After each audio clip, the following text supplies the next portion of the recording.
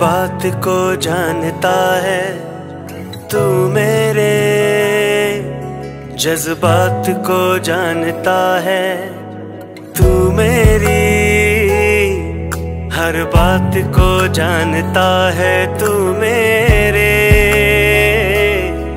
जज्बात को जानता है। मांगू मैं बस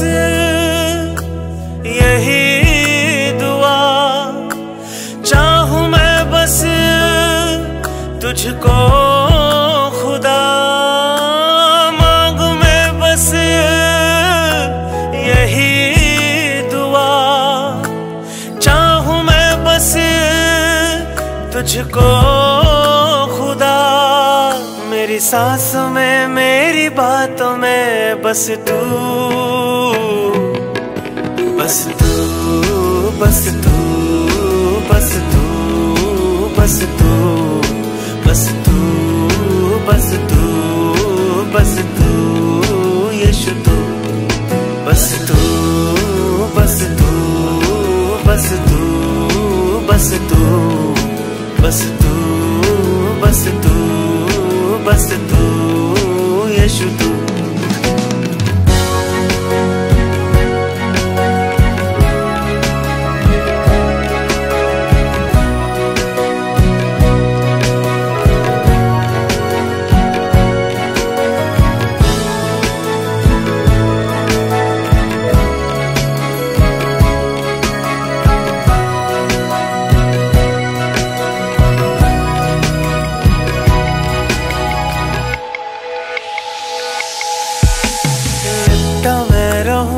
सदा तेरी रूह से बचा मैं रहूँ सदा।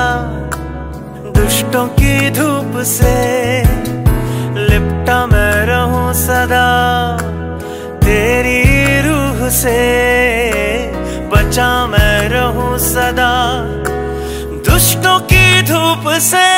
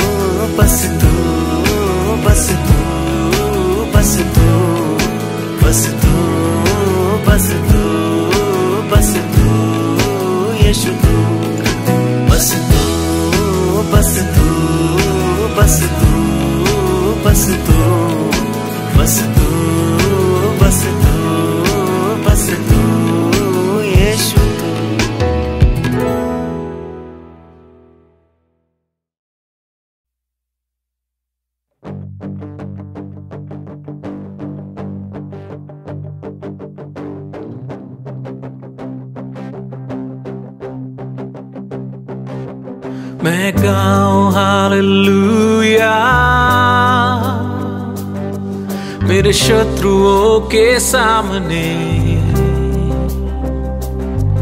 मैं गाऊं हालेलुया।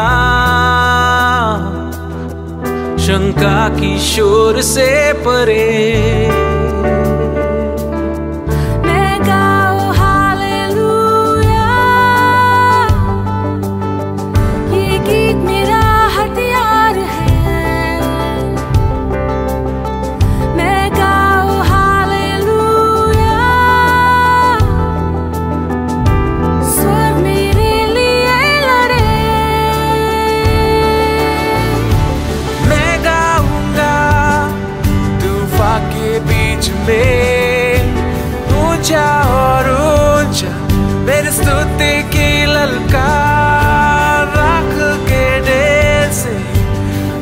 सा उबरे मृत्यु तुहार मेरा राजा जीवित है।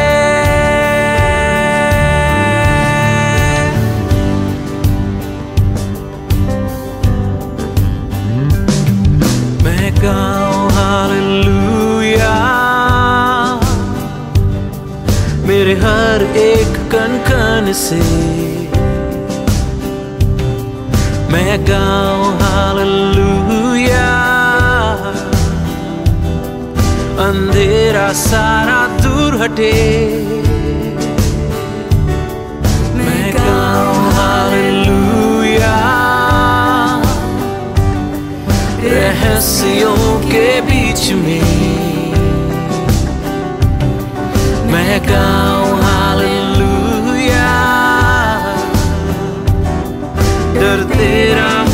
ज़ोर नहीं। मैं गाऊँगा तूफ़ान के बीच में, ऊँचा और ऊँचा, मेरी स्तुति की ललकार राख के ढेर से आशा उभरे। मृत्यु तुहारे मेरा राजा जीवित है। तूफान के बीच में ऊंचा और ऊंचा मेरी स्तुति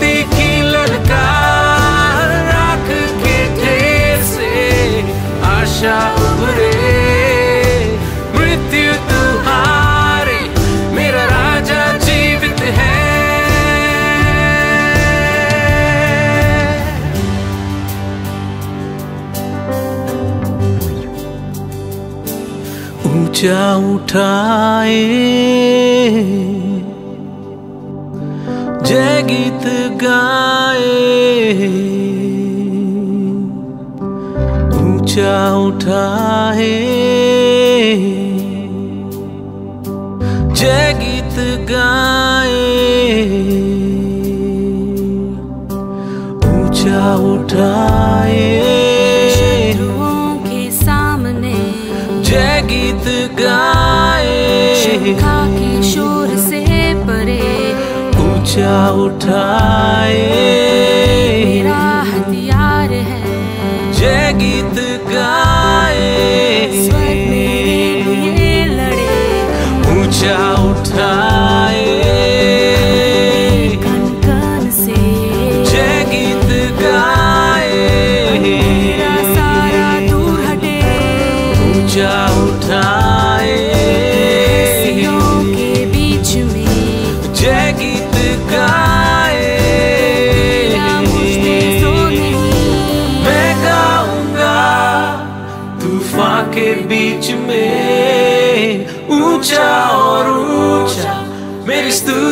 की ललकार राख के ढेर से आशा उभरे। मृत्यु तुहारे, मेरा राजा जीवित है। मैं गाऊँगा तूफ़ान के बीच में, ऊँचा और ऊँचा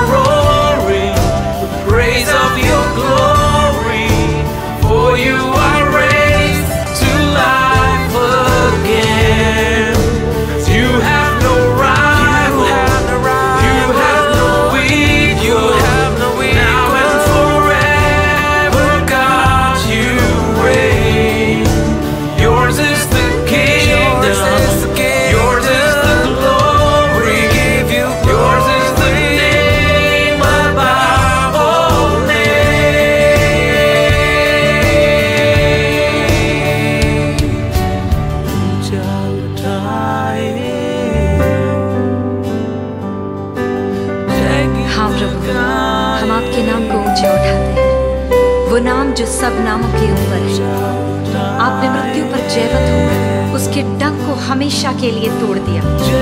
प्रभु स्वर्ग के नीचे और पृथ्वी के ऊपर केवल एक ही नाम दिया गया है, जिस नाम से मुर्दे जी उठते हैं, सूखी हड्डियों में जान भर जाती है, राख की जैसी अवस्था में भी अपरंपार आशा को भरता है। प्रभु, अपने शत्रुओं के सामने, हमारी परिस्थितियों के बीच में, हर शक और सवालों के ऊपर, हम आपके नाम को ऊँचा उठाएँगे, क्योंकि सारी स्वर्गीय सेना हमारे लिए लड़ती है।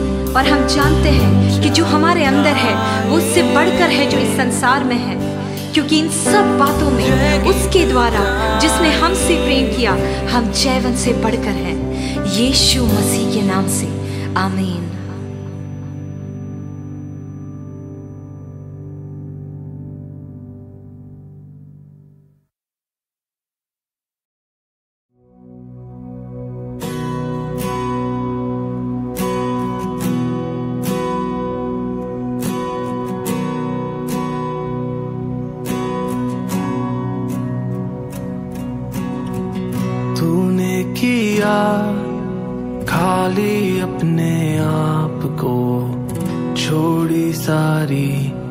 महिमा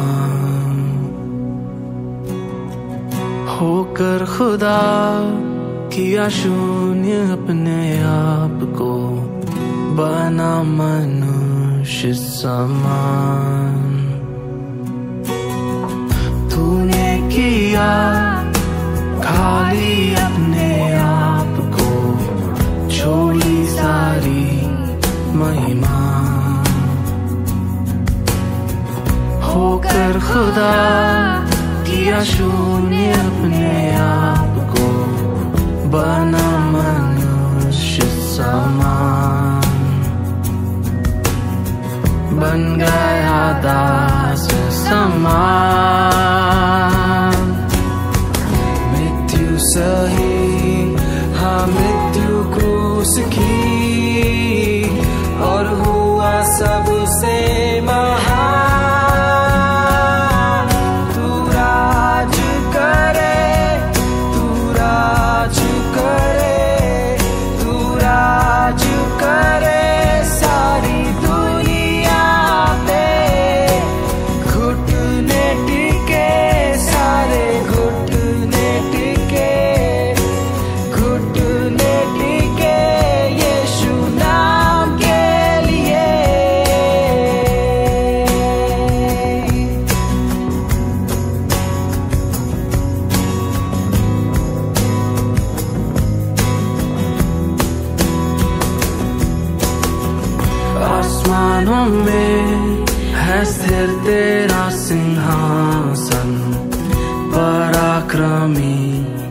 खुदा।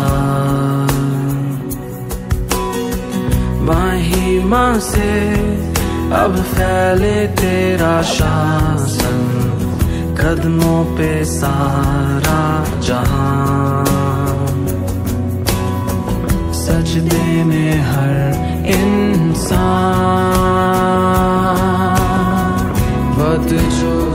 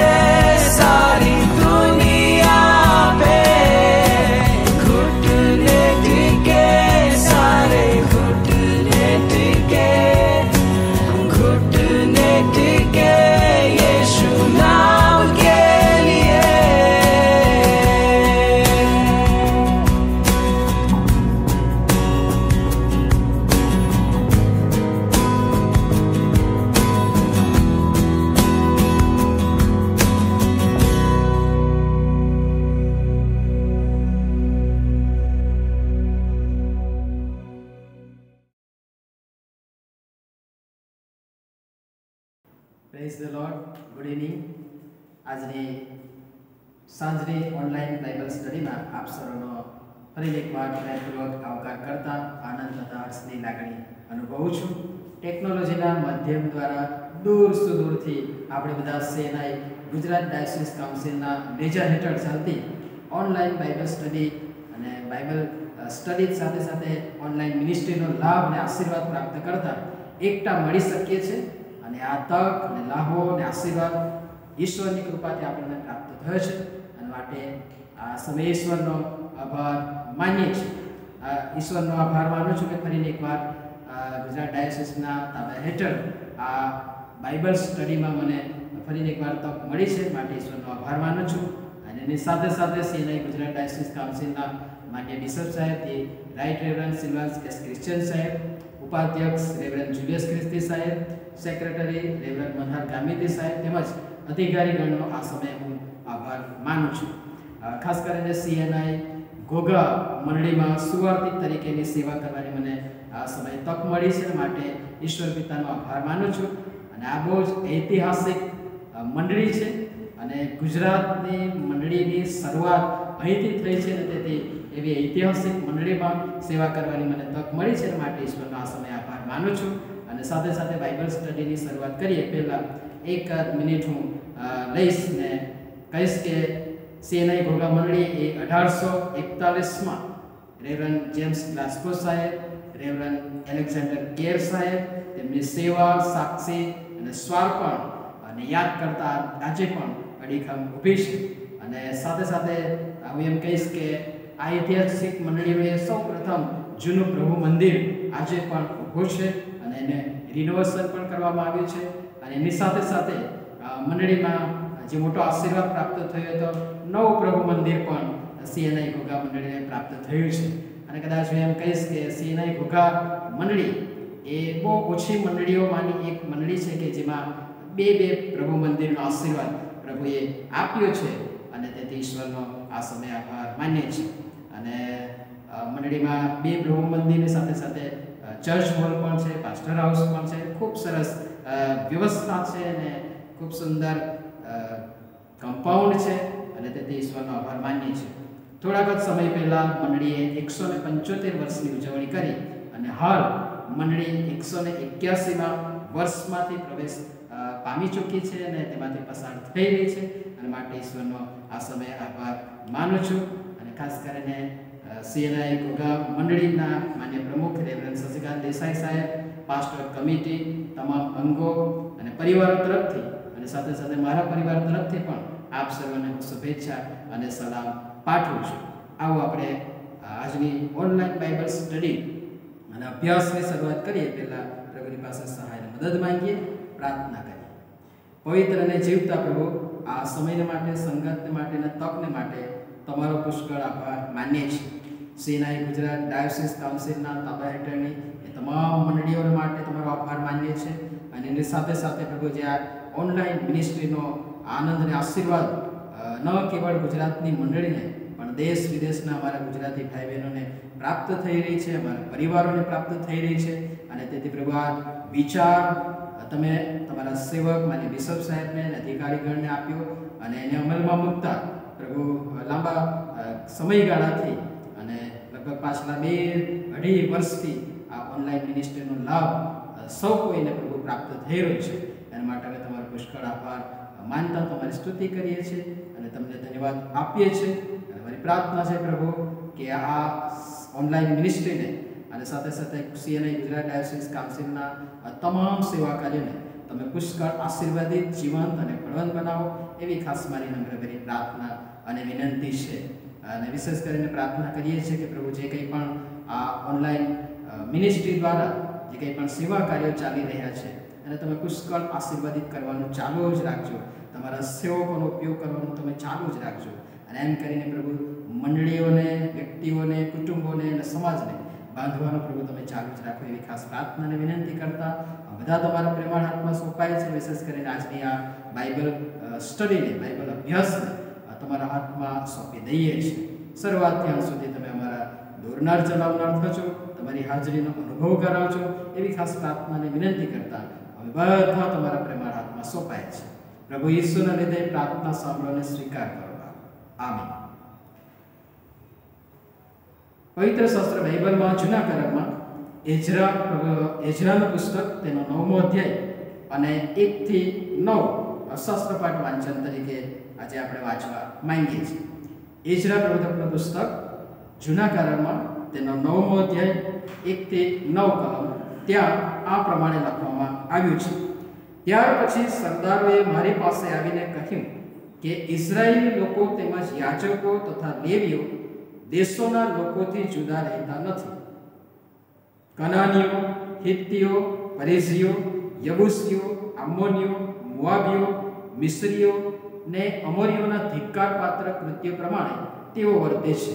કારણ કે તેઓ પોતે તથા તેઓના પુત્રો, તેઓની દીકરીઓની જોડે પરણ્યા છે. તેથી પવિત્ર વંશ દેશના લોકોની સાથે મિશ્ર થઈ ગયો છે. હા, એ ઉલ્લંઘનમાં મુખ્યત્વે સરદારોના તથા સત્તાવાળાઓના હાથ છે. એ વાત મેં સાંભળી ત્યારે મેં મારા વસ્ત્ર તથા મારો જબ્બો ફાડીને મારા માથાના તથા મારી દાઢીના વાળ ફાંસી નાખ્યા. ને શબ્દ થઈને હું નીચે બેઠો. આ સમયે બંદીવાસ વાળાઓના પાપને લીધે ઇઝરાયલના દેવના વચનોથી જેઓ ધ્રુષ્ટા હતા, તે સર્વ મારી પાસે એકઠા થયા. સાંજના અર્પણ સુધી હું સ્તબ્ધ થઈને બેસી રહ્યો. સાંજના અર્પણની વેળાએ હું મારા ઉપવાસમાંથી ફાટેલા વસ્ત્ર તથા જબ્બા સહિત ઉઠીને ઘૂંટણે પડ્યો ને મારા દેવ યહોવા તરફ મેં મારા હાથ પસાર્યા. મેં કહ્યું કે, હે મારા દેવ હું મારું મુખ તારી તરફ ઉઠાવતા શરમાઉં છું. કેમ કે અમારા પાપ અમારા માથા પર વધી ગયા છે. અમારા અપરાધ વધીને આકાશ સુધી પહોંચ્યા છે. અમારા પિત્રોના સમયથી તે આજ સુધી અમે ઘણા અપરાધ કર્યા છે. અમે અમારા રાજા તથા અમારા યાચકો અમારા અધર્મને લીધે બીજા દેશોના રાજાઓના હાથમાં સોંપાઈને, તરવારને, બંદીવાસને લૂંટફાટને ને ગેર આબરૂને વશ થયા છીએ. આજ અમારી એ જ દશા છે. અમારે સારો બચેલો શેષ રાખવાને, ને પોતાના પવિત્ર સ્થાનમાં એક કિલો અમને આપવાને, અમારા દેવ યહોવા તરફથી થોડી વાર સુધી કૃપા બતાવવામાં આવી છે. એ માટે કે અમારો દેવ અમારી આંખોને પ્રકાશિત કરે, ને અમારા બંદીવાસમાં અમને કંઈક નવજીવન બક્ષે. અમે ગુલામો છીએ, તો પણ અમારા દેવે અમને અમારી ગુલામીમાં તજી લીધા નથી. તેણે ઈરાનના રાજાઓની મારફત અમારા પર કૃપા દ્રષ્ટિ કરી છે કે જેથી અમે નવજીવન પામીને અમારા દેવનું મંદિર ઊભું કરીએ. ને તેના ખંડેરો સમારીએ ને પોતાને માટે યહૂદીઓમાં યરુશલેમમાં દેવ પાસેથી સંરક્ષણ સંપાદન કરીએ. આ ઈશ્વરનું પવિત્ર અને જીવતું વચન છે અને પ્રભુ તેના વાંચેલા સાંભળેલા વચનો પર પુષ્કળ આશીષ આપો. આ એ સમય છે મિત્રો કે જ્યારે ઇઝરાયલ પ્રજા એ ગુલામગીરીમાં છે અને આપણે બધા જાણીએ છીએ કે ઇઝરાયલ પ્રજા જે હંમેશા બંડ કરતી હતી, ઈશ્વરની વિરુદ્ધ ને ઈશ્વરના લોકોની વિરુદ્ધ સતત એ જતી હતી, કચકચ કરતી હતી, વિરોધ કરતી હતી, માન્યમાં ન રહેતી હતી, એવી આ પ્રજા એ હાલ પણ એ ગુલામગીરીમાં છે, બંદીવાસમાં છે અને એવા સમયમાં ઈશ્વર એમના માટે કેવું કાર્ય કરે છે અને સાથે સાથે તેમના સેવકનો કેવો ઉપયોગ કરે છે, એ આપણે સાથે મળીને જોવા માંગીએ છીએ. અને ખાસ કરીને જ્યારે આપણે સેનાએ ગુજરાત ડાયોસિસ તરીકે આ ઓગસ્ટ મહિનો એ પ્રાર્થના પર્વ તરીકે ઉજવી રહ્યા છે, ત્યારે એક સમર્થ, પ્રબળ, મક્કમ અને મજબૂત એ મધ્યસ્થની પ્રાર્થના યોદ્ધાની જે વ્યક્તિ કુટુંબને મંડળીને સમાજને જરૂર છે એ વ્યક્તિ ઘણી બધી પવિત્ર શાસ્ત્ર બાઇબલમાં એવા નમૂના છે, આદર્શ જીવનો છે અને એમાંની આ એક વ્યક્તિ એજરા અને તેના જીવન વિશે પણ આપણે જોવા માંગીએ છીએ. અને શરૂઆતથી આપણે જો જોઈએ, તો મારી સાથે તમે એજરા પ્રબોધકનું પુસ્તક તેનો પહેલો અધ્યાય જોશો, તો ત્યાં પહેલી કલમમાં લખી છે કે ઈરાનના રાજા કુરસને પહેલે વર્ષે યહોવાએ યર્મિયાના મુક્તિ અપાયેલું યહોવાનું વચન પૂરું કરવા માટે કોરેશ રાજાના મનમાં એવી પ્રેરણા કરી કે તેણે પોતાના આખા રાજ્યમાં લિખિત ઢંઢેરો પીટાવ્યો તેમાં તેણે પોતે કહ્યું કે આકાશના દેવ યહોવાએ મને પૃથ્વીના સર્વ રાજ્યો આપ્યા છે. અને યહૂદિયામાંના યરુશલેમમાં તેને સારું મંદિર બાંધવાની મને આજ્ઞા આપી છે. હવે આ બંદીવાસનો સમય છે. ઇઝરાયલ પ્રજા એ બંદીવાસમાં છે.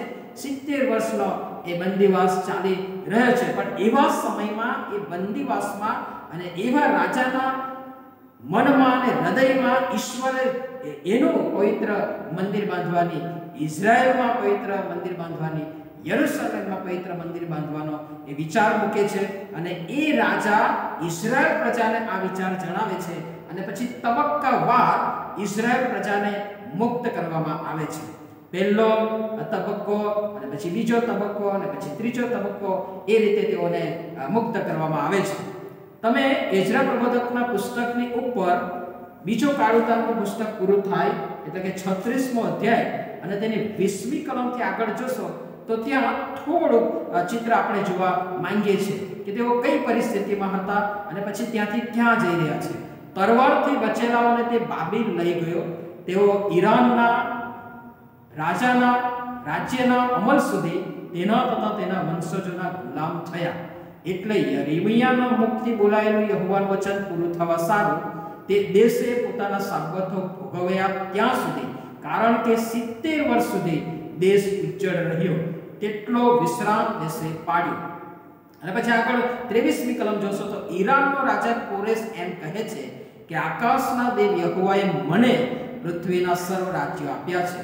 અને યહૂદિયામાંના યરુસાલેમમાં તેના સાથે એક મંદિર બાંધવાની તેણે મને આજ્ઞા આપી છે. તેના લોકમાનો જે કોઈ તમારામાં હોય તે ત્યાં જાય. તેનો દેહ યહોવા તેની સાથે હોજો. અને આ રીતે બહુ જ અજાયબ રીતે, ચમત્કારિક રીતે જે રીતે ઇઝરાયલ પ્રજાને મિશ્ર દેશની ગુલામગીરીમાંથી ઈશ્વર ચમત્કારિક રીતે છોડાવીને, બચાવીને, સંભાળીને પોતાના દેશમાં લઈ જાય છે. એ જ રીતે એ ઇઝરાયલ પ્રજા વારંવાર જે ગુલામગીરીને આવી પડતી હતી, બંદીવાસમાં આવી પડતી હતી એ જ રીતે અત્યારે પણ તે બંદીવાસમાં છે. પણ એ જે રાજાઓ છે, એ જ રાજાના મનમાં ઈશ્વર વિચાર મૂકે છે અને પછી તેના લોકોને એ મુક્ત કરતા ત્યાં આપણે ચમત્કારિક રીતે જોઈ શકીએ છીએ. અને પછી ત્યાં વાંચતા વાંચતા ઇઝરા પ્રબોધકનું પુસ્તક, તેનો પહેલો અધ્યાય એની કેટલીક કલમો જોશો અને આખો અધ્યાય તમે જોશો તો ત્યાં વ્યક્તિઓની વાત કરવામાં આવી છે, સમૂહોની વાત કરવામાં આવી છે, કુટુંબોની વાત કરવામાં આવી છે, સંખ્યા પણ ત્યાં જણાવવામાં આવી છે. અને સાથે સાથે ત્રીજા અધ્યાયમાં તમે જોશો, તો ત્યાં લખ્યું છે, પહેલી જ કલમમાં, ઇઝરાયલ પુત્રો પોતાના નગરોમાં વસ્યા પછી સાતમો માસ આવ્યો ત્યારે લોકો એક દિલથી યરુશલેમમાં એકઠા થયા.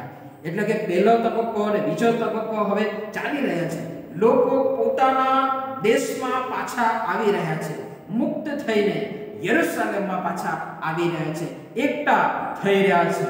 અને ત્યાં આવીને તેઓએ એકતા થવાનું અને સાથે એક દિલથી ત્યાં લખ્યું છે પ્રમાણે વેદી બાંધી અને પ્રથમ જે જગ્યાએ વેદી હતી ત્યાં તેઓ વેદી બાંધતા જોઈ શકે છે. અને પછી યરુશલેમમાંના મંદિરના બાંધકામની પણ ત્યાં શરૂઆત થતી આપણે જોઈ શકીએ છીએ.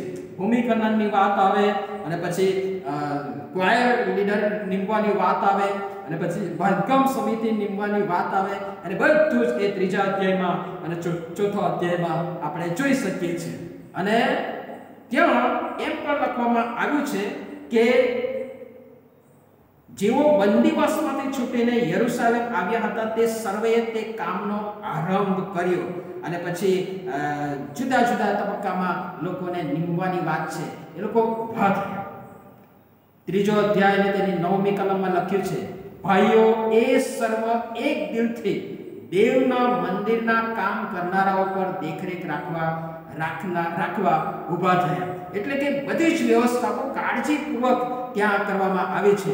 એ જ અધ્યાયની બારમી કલમનો પાછલો ભાગ તમે જોશો તો ત્યાં લખ્યું છે, જેમણે પ્રથમનું મંદિર જોયું હતું, તેઓની નજર આગળ જ્યારે આ મંદિરનો પાયો નંખાયો એટલે પ્રથમના મંદિરનો નાશ કરી દેવામાં આવ્યો છે. એની ભવ્યતા, એનું ગૌરવ એ બધું યાદ કરતા જ્યારે ફરીથી આ પાયો નાખવામાં આવી રહ્યો છે. ત્યાં લખવામાં આવ્યું છે, આ મંદિરનો પાયો નંખાયો ત્યારે તેઓ મોટી પોંક મૂકીને રડ્યા.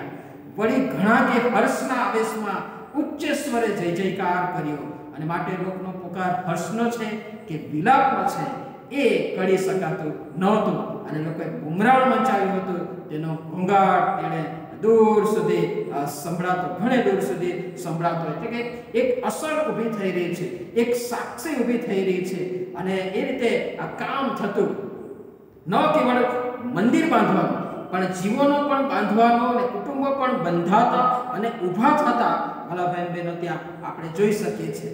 અને આવા એ સમયમાં જ્યારે એ બાંધકામ ચાલી રહ્યું છે જીવનો, કુટુંબો મંડળી અને સમાજ અને મંદિરનું બાંધકામ ચાલી રહ્યું છે. એવા સમયમાં અડચણો પણ આવે છે, પડકારો પણ આવે છે. રોડા નાખનારા લોકો પણ છે, મુશ્કેલીઓ ઊભી કરનારા લોકો પણ છે. અને તમે જોશો, ચોથા અધ્યાય અને તમે વાંચશો, તો ત્યાં એક ખાસ પ્રકારની વ્યક્તિઓ છે, ટીમ છે, કે જે આ કાર્ય ન થાય એના માટે પ્રયત્ન કરે છે. પત્રો લખે છે રાજાઓને રાજાઓને તે ઉશ્કેરે છે. અને પછી એ પત્ર વ્યવહાર ત્યાં કરવામાં આવે છે. અને પછી એ અધિકારીગણ એના માટેની ઝુંબેશ પણ ચલાવે છે. તપાસ પણ કરે છે. અને ટીમ પણ નિમે છે. અને રિપોર્ટનું પણ આદાન પ્રદાન કરવામાં આવે છે. અને બધી બાબતો ત્યાં આપણે જોઈ અશક્ય છીએ. પણ ત્યાં પાંચમા અધ્યાયની અગિયારમી કલમથી આગળ તમે જોશો તો જે તપાસ કરવામાં આવી રહી છે અને જે જે જે રિપોર્ટ તૈયાર કરવામાં આવી રહ્યો છે, એ લોકો જે રિપોર્ટ આપે છે તે આ પ્રમાણે છે. સાતમી કલમથી વાંચીએ. પાંચમો અધ્યાય અને સાતમી કલમ. તેમાં આ પ્રમાણે લખ્યું છે. દાર્યવશ રાજાને ક્ષેમ કુશળતા હોજો. આપને વિદિત થાય કે અમે યહૂદિયાના પ્રાંતમાં મહાન દેવના મંદિરમાં ગયા હતા. તે મોટા પથ્થરોથી બાંધેલું છે ને ગીતોમાં લક્કડ વાપરેલું છે અને એ કામ તેઓ ખંતથી કરે છે. એ કામ તેઓ ખંતી કરે છે. જે પત્ર લખવામાં આવ્યો છે, જે વિરોધ કરવામાં આવી રહ્યો છે, જે કામ અટકાવી દેવા માટે પ્રયત્ન કરી કરવામાં આવી રહ્યો છે, એના જ ભાગ સ્વરૂપે આ ટીમને નિમીને તપાસ સમિતિ મોકલવામાં આવે છે અને તેઓ હવે એમનો રિપોર્ટ રજૂ કરે છે કે કામ બહુ જોરદાર ચાલી રહ્યું છે. એ કામ તો તેઓ ખંતથી કરી રહ્યા છે. અને અગિયારમી કલમમાં જોશો તો ત્યાં એ ઇઝરાયલ પ્રજા પોતાની ઓળખ આપે છે. કઈ રીતે? તેઓએ અમને ઉત્તર આપ્યો કે અમે આકાશ તથા પૃથ્વીના દેવના સેવકો છીએ. આ પેલી ઓળખ તેઓ આપે છે. અને પછી આગળ વધીએ તો ત્યાં લખ્યું છે, જે મંદિર આજથી ઘણા વર્ષો ઉપર ઇઝરાયેલના એક મહાન રાજાએ બાંધીને પૂર્યું કર્યું હતું, તે જ અમે ફરીથી બાંધીએ છીએ. અને પછી ત્યાં લખ્યું છે કે, પણ અમારા પુત્રોએ આકાશના દેવને કોપાયમાન કર્યાથી તેણે બાબિલના રાજા કાસદી નબુખાદનેસ્તરના હાથમાં તેઓને સોંપ્યા. અમારા પિત્રોએ આકાશના દેવને કોપાયમાન કર્યાથી એ બંદીવાસ આવ્યો છે. એ સ્વીકાર પણ તેઓ કરે છે. એક ઓળખ આપે છે કે અમે જીવતા ઈશ્વરના, એટલે કે અમે આકાશ તથા પૃથ્વીના દેવના સેવકો છીએ. બીજી બાબત તે સ્વીકાર કરે છે કે અમે અમારા પિત્રોના પાપને કારણે, અને અમારા પિત્રોએ આકાશના દેવને ઉપાયમાન કર્યા, અને તેથી બાબેલના એ બંદીવાસ આવ્યો. ત્રીજી બાબત. બાબિલનો રાજા કોરેશે પોતાના રાજ્યના પહેલા વર્ષમાં દેવનું એ મંદિર બાંધવાનો અમને હુકમ કર્યો. એ છે એટલે કે જે જે વ્યક્તિઓ મારફતે બંદીવાસ આવ્યો હતો, એ જ વ્યક્તિઓ હવે દેવનું મંદિર બાંધવાની પરવાનગી આપતા આપણે જોઈ શકીએ છીએ. અને એની સાથે સાથે ન કેવળ પરવાનગી, એની સાથે સાથે પૂરેપૂરી મદદ આપવાની ખાતરી પણ ચૌદમી કલમમાં આપણે જોઈ શકીએ છીએ. અને સાથે સાથે પંદરમી કલમમાં એ ફરમાન આપે છે. અને પછી છઠ્ઠી બાબત ભૂમિ જે ભૂમિ ખનનની વાત પણ ત્યાં કરવામાં આવી છે. ત્યાં લખ્યું છે પંદરમી કલમ. અને તેણે તેને ફરમાવ્યો, આ પાત્રોને યરુશલેમના મંદિરમાં પાછા મૂક. અને દેવનું મંદિર તેની અસલ જગ્યાએ બંધાવ એટલી બધી કાળજી ત્યાં રાખવામાં આવી છે. અને સાતમી બાબત કે ત્યાં રજૂઆત પણ કરવામાં આવી છે સત્તરમી કલમમાં. તો હવે જો આપણી દ્રષ્ટિમાં ઠીક લાગે, તો કોરેશ રાજાએ યરુશલેમમાં દેવનું મંદિર બાંધવાનો હુકમ કર્યો હતો કે નહીં, એની શોધ આપના બાબિલમાંના ભંડારમાં કરાવશો અને તે બાબત આપની ઈચ્છા પ્રમાણે હુકમ ફરમાવશો. અને રાજા જ્યારે આપ તપાસ કરે છે, ત્યારે દારિયાવેશ રાજાએ બાબિલના ભંડારના દફતરખાનામાં શોધ કરવાનો હુકમ કર્યો અને ત્યારે એ ઠરાવ મળી આવતો એ છઠ્ઠા અધ્યાયમાં તમે આપણે જોઈ શકીએ છીએ. અને પછી એ પણ બાબત ત્યાં જાણવાને શીખવા મળે છે કે એ પણ ઠરાવ છે કે જે કંઈ પણ ખર્ચ થાય એ રાજ્યના ભંડારમાંથી આપવો છઠ્ઠા અધ્યાયની પાંચમી કલમ અને ચોથી કલમમાં લખવામાં આવ્યું છે. વળી દેવના મંદિરના સોના રૂપાના જે પાત્રો નબુખાદનેસ્સાર યરૂશલેમના મંદિરમાંથી કાઢીને બાબી લઈ ગયો હતો, તે યરૂશલેમના મંદિરમાં તેમને પોત પોતાની જગ્યાએ પાછા આવવા, લાવવા અને મૂકવા.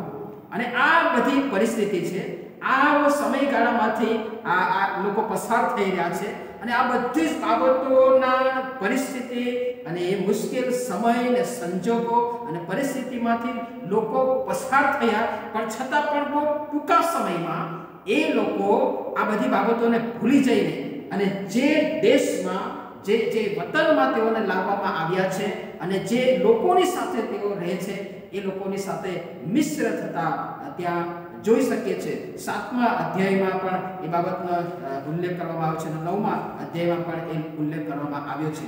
હવે આપણા શાસ્ત્ર પાઠ તરફ આપણે આવીએ, તો ત્યાં પહેલી કલમમાં લખ્યું છે, એઝરા પ્રબોધકનું પુસ્તક, તેનો નવમો અધ્યાય પહેલી કલમ. ત્યાર પછી સરદારોએ મારી પાસે આવીને કહ્યું કે, ઇઝરાયેલી લોકો તેમજ યાજકો તથા લેવીઓ દેશોના લોકોથી જુદા રહેતા નથી. કનાનીઓ, હિત્તીઓ પરિચયો યબુસીઓ આમોનીઓ મોઆબીઓ, મિસ્રીઓ અને અમરીઓના ધિક્કાર પાત્ર પાત્ર કૃત્ય પ્રમાણે તેઓ વર્તે છે. એટલે કે જે ઇતિહાસની ટૂંકમાં આપણે જે વિચાર કર્યો અને જે જે જોયું અને એ બાબત કેવી કેવી કેવી બાબતમાંથી એ લોકો પસાર થયા અને બહુ ટૂંકા સમયમાં એ બધી પરિસ્થિતિ એ ભૂલી જાય છે અને ફરીથી જે જેને ન પસંદ કરી શકાય, જેને ન સ્વીકાર કરી શકાય, એવી બાબતોમાં એટલે કે બદફેલીમાં પડતા એ લોકોને આપણે જોઈ શકીએ છીએ. અને એવા સમયમાં ઈજરા પ્રબોધક જ્યારે આ પરિસ્થિતિ સાંભળે છે, આ જે જે જે સ્થિતિ છે એના વિશે સાંભળે છે અને જે જે કંઈ કંઈ પણ પ્રશ્ન છે એના વિશે જાણે છે અને સાંભળે છે, ત્યારે એનું શી પ્રતિક્રિયા છે? એ આપણે નવમા અધ્યાયની એ બીજી કલમથી તે નવમી કલમ સુધી આપણે જોવા માંગીએ છીએ. ત્યાં લખ્યું છે બીજી કલમમાં, કારણ કે તેઓ પોતે તથા તેઓના પુત્રો, તેઓની દીકરીઓની જોડે પરણ્યા છે, તેથી પવિત્ર વંશ દેશના લોકોની સાથે મિશ્ર થઈ ગઈ છે. હા, એ ઉલ્લંઘનમાં મુખ્યત્વે સરદારોના તથા સત્તાવાળાનો હાથ છે. અહીંયા પ્રશ્ન, સમસ્યા એ જુદી છે. પણ સાંપ્રત સમયની એટલે કે જે વર્તમાન સમયમાં હું ને તમે જીવી રહ્યા છે, એની પરિસ્થિતિ જુદી છે, એના પ્રશ્નો જુદા છે, એની મુશ્કેલીઓ જુદી છે, એના પડકારો જુદા છે. પણ જ્યારે એ પડકારો, એ પ્રશ્નો અને સમસ્યા અને મુશ્કેલીઓ વિશે સાંભળીએ છીએ અને જોઈએ છે કે જાણીએ છીએ કે અનુભવીએ છીએ, ત્યારે એક પ્રભુના બાળક તરીકે વિશ્વાસી વ્યક્તિ તરીકે, ખ્રિસ્તી વ્યક્તિ તરીકે પ્રભુ ખ્રિસ્તની જે ઓળખ મને ને તમને પ્રાપ્ત થઈ છે, તેના બાળકોનો, વારસો તરીકે, તેના સંતાનો તરીકે મારી તમારી શી પ્રતિક્રિયા હોય, એ અહીંયા આપણે જોવા માંગીએ છીએ. અહીંયા આ વ્યક્તિએ જ્યારે એ બધી પરિસ્થિતિ સાંભળી, એ પ્રશ્નને પડકારો સાંભળ્યા, અને જે હાલતમાં, જે પરિસ્થિતિમાં ઇઝરાયલ પ્રજા છે, એમના વિશે તેણે સાંભળ્યું, ત્યારે તેણે શું કર્યું? ત્રીજી કલમ. એ વાત મેં સાંભળી ત્યારે મેં મારા વસ્ત્ર તથા મારા જબ્બો પાડીને મારા માથાના તથા મારી ધણીના વાળ ફાંસી નાખ્યા ને સ્તબ્ધ થઈને હું નીચે બેઠો. સ્તબ્ધ થઈને હું નીચે બેઠો. અને આ સમયે બંદીવાસ વાળાઓના પાપને લીધે ઇઝરાયલના દેવના વચનોથી જેઓ ધ્રુષ્ટ હતા સમયે બંદીવાસ વાળાઓના પાપને લીધે ઇઝરાયલના દેવના વચનોથી જેઓ ધૃષ્ટ હતા, તે સર્વ મારી પાસે એકઠા થયા સાંજના અર્પણ સુધી હું સ્તબ્ધ થઈને બેસી રહ્યો. વાલાભાઈ બોલ્યો, સાંજના અર્પણ સુધી. આખો દિવસ એ વ્યક્તિ, એ પ્રભુના સેવક, એ જ્યારે પોતે જ એ પાપ કર્યો હોય, અપરાધ કર્યા હોય એવી લાગણી અનુભવતા એ સ્તબ્ધ થઈને બેસી રહ્યા. અને આજે જ્યારે આ પરિસ્થિતિમાંથી પસાર થતા લોકો વિશે આપણે સાંભળીએ છીએ, આપણા મિત્રો વિશે આપણે સાંભળીએ છીએ, આપણા કુટુંબ વિશે આપણે સાંભળીએ છીએ ત્યારે મારીને તમારી જે પ્રતિક્રિયા હોય એ ઇજરા પ્રબોધકે જે ત્રણ બાબતો કરી, એ હું તમને કહેવા માંગુ છું. તેમાંની એક, પહેલી બાબત, ઉપવાસ, બીજી બાબત ઘૂંટણે પડ્યો, અને ત્રીજી બાબત, એને હાથ પ્રસાર્યા. અને આજે આપણે પણ જ્યારે આ બાબતો વિશે સાંભળીએ છીએ, બદફેલીમાં જીવન જીવતી વ્યક્તિઓ વિશે આપણે સાંભળીએ છીએ. ઈશ્વરને ન ગમતું ને ઈશ્વરને ન પસંદ પડે તેવું જીવન જીવતી વ્યક્તિઓ વિશે સાંભળીએ છીએ. જુદી જુદી સમસ્યાઓને, પ્રશ્ન અને મુશ્કેલીને મૂંઝવણને પડકારો વિશે આપણે સાંભળીએ છીએ. ત્યારે આપણી જે પ્રતિક્રિયા હોય એ આ પ્રકારની પ્રતિક્રિયા હોય કે મેં એ પાપ કર્યું છે. મેં એ અપરાધ કર્યા છે. અને તેથી એ લાગણી અનુભવતા આપણે ઉપવાસ કરીએ, આપણે ઘૂંટણે પણ ચલીએ અને આપણા ઈશ્વરની સમક્ષ આપણે આપણા હાથ પ્રસારીએ. અને આગળ લખ્યું છે કે, મેં કહ્યું કે, હે મારા દેવ હું મારો મુખ તારી તરફ ઉઠાવતા શરમાઉં છું. કેમ કે અમારા પાપ અમારા માથા પર વધી ગયા છે. અમારા અપરાધ વધીને આકાશ સુધી પહોંચ્યા છે. અમારા પિતરોના સમયથી તે આજ સુધી અમે ઘણા અપરાધ કર્યા છે. અમે અમારા રાજા તથા અમારા યાચકો અમારા અધર્મને લીધે બીજા દેશોના રાજાઓના હાથમાં સોંપાઈને દરબારને બંદીવાસને લૂંટફાટને અને આપણને વસ્ત વશ થયા છે. આજે અમારી એ જ દશા છે. આ પાંચથી છ કલમમાં તમે જોશો તો એઝરા પ્રબોધક એ લોકોના પાપને કારણે, એ લોકોના પાપ માથા પર વધી ગયા છે, એ લોકોના અપરાધ વધીને આકાશ સુધી પહોંચ્યા છે. એ લોકોના સમયથી તે આજ સુધી તેઓ અપરાધ કરતા આવ્યા છે. એવું નથી. પણ અમે અમારા અને એ રીતે પોતાની જાતને પણ એમની સાથે ઇન્વોલ્વ કરતી, સામેલ કરતી આપણે જોઈ શકીએ છીએ ને એમાંની જ એક વ્યક્તિ હોય, પોતે પવિત્ર છે, પોતે પ્રભુના ઈશ્વરના સેવક છે, એમ છતાં પણ પોતાના લોકોના પાપને અપરાધ જાણે એમણે પોતે કર્યા હોય એવી લાગણી અનુભવતા એ શબ્દોનો ત્યાં પ્રયોગ કરવામાં આવ્યો છે. અને ત્યાં છેલ્લે લખવામાં આવ્યું છે, સાતમી કલમનો છેલ્લો ભાગ, કે બીજા દેશોના રાજાઓના હાથમાં સોંપાઈને તરવારને બંદીવાસને લૂંટફાટને ગેરઆબરૂને વશ થયા છે. આજે અમારી એ જ દશા છે. એ વર્ષો અગાઉ પણ એ જ દશા હતી અને આજે બે હજાર બાવીસના વર્ષમાં પણ આપણી પણ એ જ દશા છે.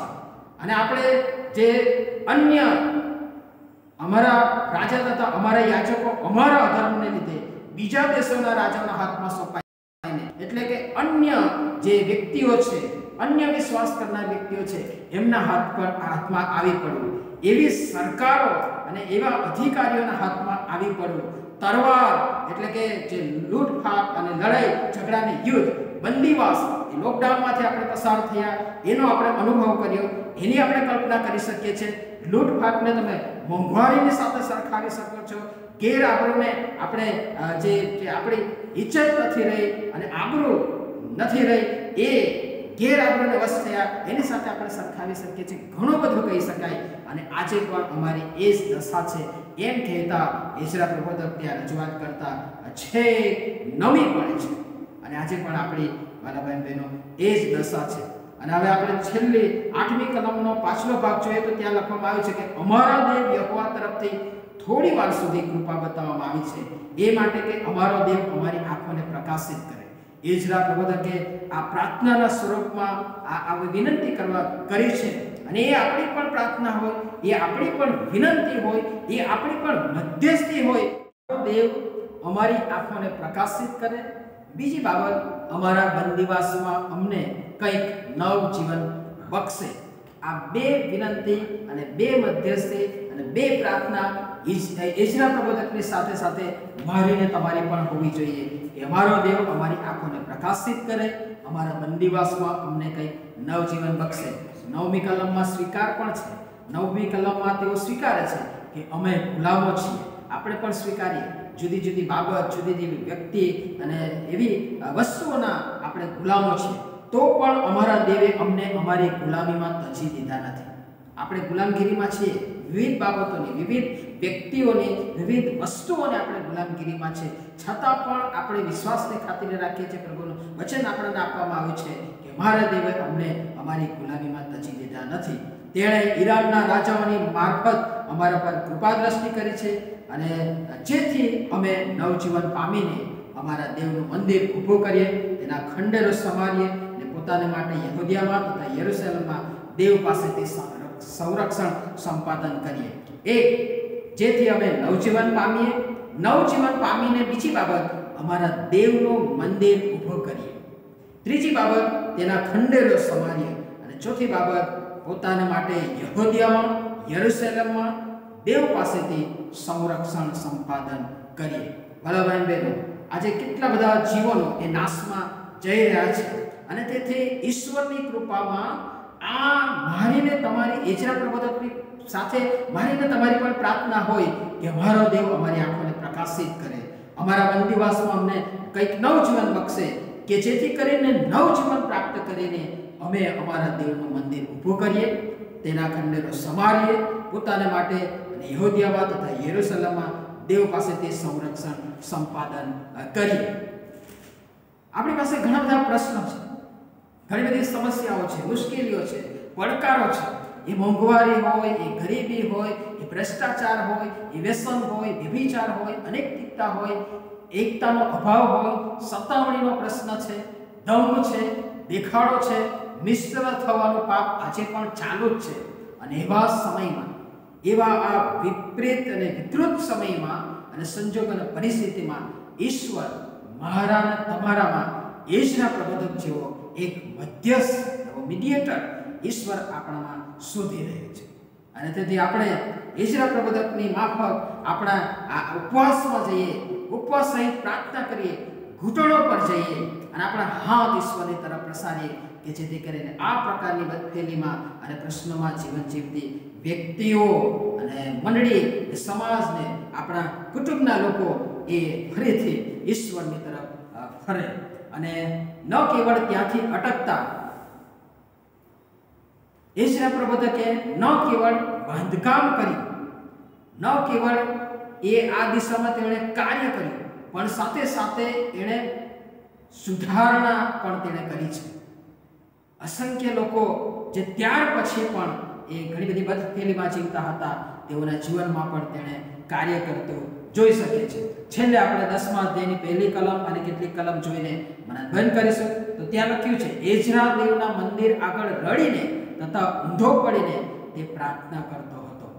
અને જે જે પ્રશ્ન નવમા અધ્યાયની પહેલી ને બીજી કલમમાં છે, એ પ્રશ્નને લઈને એ સમયના, એ ઇઝરાયલ પ્રજાના લોકોની સાથે કે જેમાં ન કેવળ ઇઝરાયલીઓ જ, પણ એની સાથે સાથે લેવીઓ પણ છે એની સાથે સાથે યાજકો અને તેમના પુત્રોને પણ સંમેલિત થતા આપણે જોઈ શકીએ છીએ અને એની કલ્પના આપણે કરી શકીએ છીએ કે કેવી ભયંકર પરિસ્થિતિ હશે. અને એવા સમયમાં એક સ્ટેન્ડ લઈને, એક આગેવાની લઈને તેણે આ બધાને ભેગા કરીને એ જે પરિસ્થિતિ છે એનાથી વાકેફ કર્યા.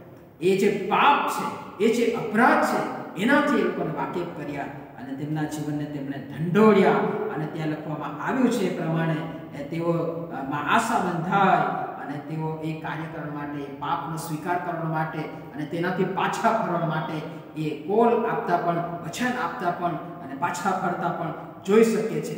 એનું કારણ એના મૂળમાં જે પ્રભુના સેવક ઈશરા પ્રબોધકે જે સ્તબ્ધ થયો વસ્ત્ર ફાડ્યા વાળ ફાંસી નાખ્યા અને પોતે જાણે એક અપરાધ કર્યો હોય, પોતે જ એમાં ઇન્વોલ્વ હોય, એવી રીતે સામેલ થયો અને લાગણીને આંસુને રુદન ને ઉપવાસ સાથે એણે ઈશ્વરની સમક્ષતામાં જઈને એ પ્રાર્થના કરી અને ત્યાં દસમા અધ્યાયમાં લખવામાં આવ્યું છે કે રડીને, ઊંધા પડીને એણે પ્રાર્થના કરી અને પ્રયત્ન કર્યા. એના પરિપાક સ્વરૂપ આ પરિણામ આપણે જોઈ શકીએ છીએ. અને ભલાભાઈ બહેનો આ આવા સેવકોની, હવે આગેવાનોની આવા મધ્યસ્થ કરનારાની, આવી રીતે પ્રાર્થના કરનારાની અને આવી રીતે ઈશ્વરના લોકોને માટે એક મજબૂત, સમર્થ ને પ્રબળ મધ્યસ્થ બનનારની આજે મંડળીને, સમાજને, કુટુંબને અને વ્યક્તિગત જીવનોને પણ જરૂર છે. હજી પણ કંઈક આશા છે. અને ત્યાં વડીલો તેને ઉત્તેજન આપતા ચોથી કલમના પાછલા ભાગમાં લખવામાં આવ્યું છે. કે ઉઠ એ કામ તારું છે. અમે તારી ઉમકે છીએ. ખૂબ હિંમત રાખીને આ કામ કર. અને મંડળીના અને સમાજના જાગૃત આગેવાનો તરીકે આવા બધા પ્રશ્નો અને સમસ્યાઓ અને મુશ્કેલીનો પડકારોનો જ્યારે આપણે સામનો કરીએ છીએ, સાંભળીએ છીએ, ત્યારે મારીને તમારી પણ આ પ્રતિક્રિયા હોય. આ આ આ પ્રકારનું વલણ હોય અને આ પ્રકારની તૈયારી હોય અને ત્યારે ઈશ્વર આપણા પક્ષમાં રહીને એ અદ્ભુત ને અજાયબ જેવો ચમત્કારિક કાર્ય કરી શકે છે. અને ફરીથી કહીશ કે આજે એવા ઈશરા પ્રબોધક જેવા મધ્યસ્થ કરનારની, વિનંતી કરનારની, પ્રાર્થના કરનારની અને લોકોના માટે આવી લાગણી ધરાવનાર વ્યક્તિની મંડળીને, સમાજને, કુટુંબને જરૂર છે. અને આપણે ફરીથી ઈશરા પ્રબોધકની સાથે એ જ પ્રાર્થના કરીએ કે અમારો દેવ અમારી આંખોને પ્રકાશિત કરે. અમારા બંદીવાસમાં અમને કંઈક નવ જીવન બક્ષે જેથી કરીને અમે નવજીવન પામીએ, અમારા દેવનું મંદિર ઊભું કરીએ, તેમના ખંડેરોને સંભાળીએ અને પોતાના માટે યહૂદિયામાં, યરુસલેમમાં દેવ પાસેથી સંરક્ષણ સંપાદન કરીએ. અને પ્રભુ પરમેશ્વર પિતા આપણને એમ કરવા માટે સહાય તથા મદદ કરો. નમીએ પ્રાર્થના કરીએ અમારા સ્વામી અમારા પ્રભુ, મૂલ્યવાન સમય માટે, સંગત માટે અને તકને માટે અમે તમારો પુષ્કળ આભાર માનીએ છીએ. તમારા સેવક એજરા પ્રબોધકના જીવનને માટે યાચકને માટે અમે તમારો પુષ્કળ આભાર માનીએ છીએ.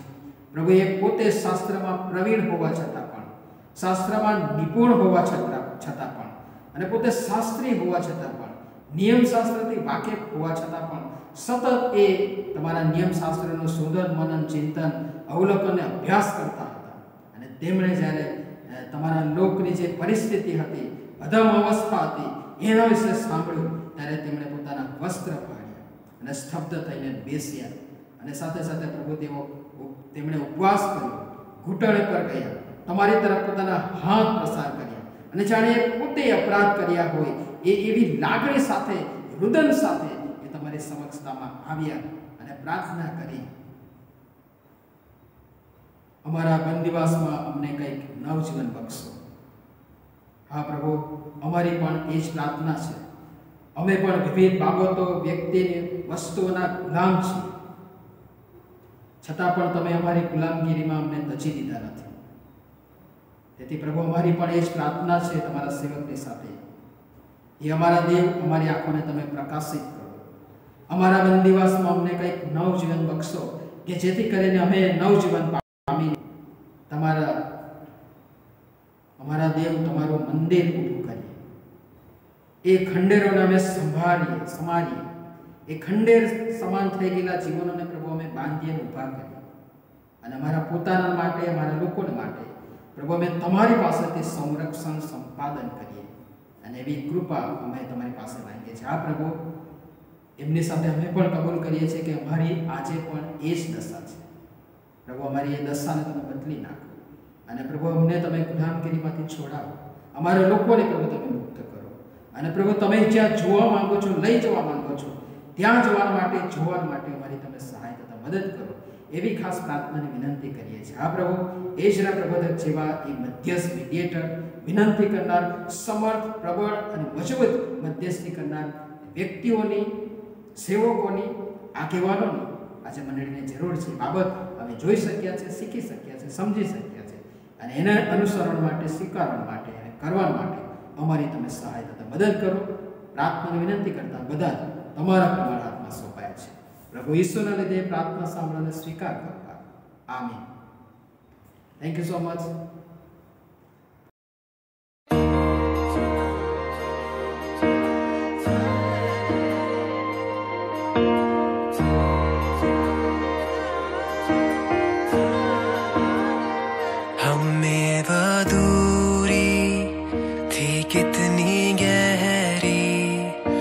कितना बड़ा था वो फासला। मायूस होकर स्वर्ग की ओर देखा, निराशा में तेरा नाम लिया। अंधकार हटाकर तेरी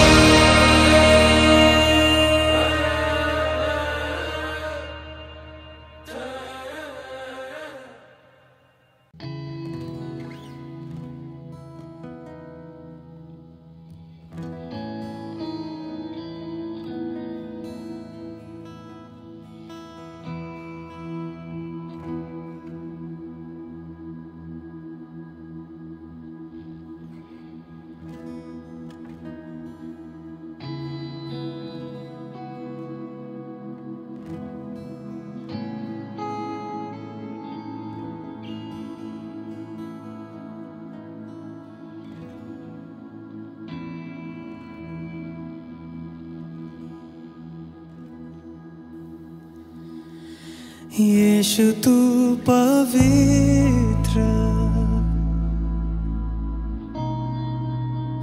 यीशु तू है योग्य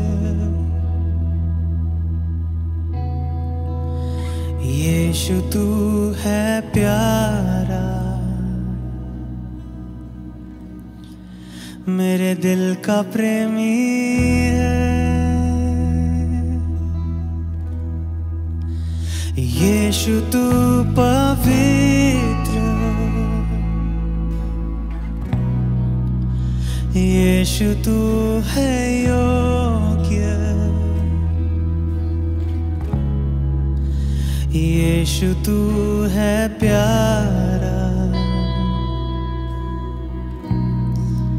मेरे दिल का प्रेमी है यीशु तू पवित्र है, तू योग्य है, तू प्यारा है। तू मेरे दिल का प्रेमी है। इसलिए मैं तुझे आराधना दूँगा, तेरी भक्ति करूँगा।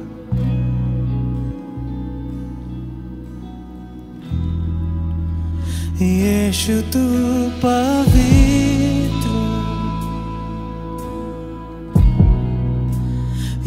यीशु, तू है योग्य। यीशु, तू है प्यारा। मेरे दिल का प्रेमी है।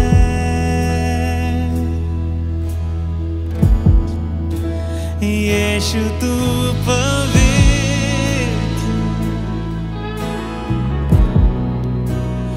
యేసు तू है योग्य యేసు तू है प्यारा मेरे दिल का प्रेमी है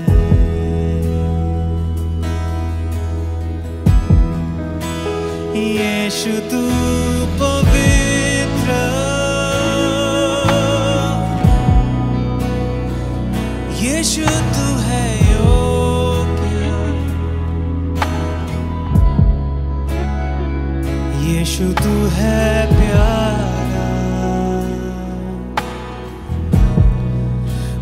दिल का प्रेमी है